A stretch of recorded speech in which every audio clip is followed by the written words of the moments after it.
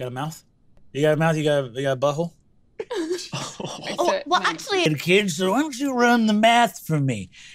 It's a one in a million that something bad happens, and it's a 100% chance that the insurance company takes 10% of your haul. Well, I'm a true spacer, so uh, no thank you, insurance.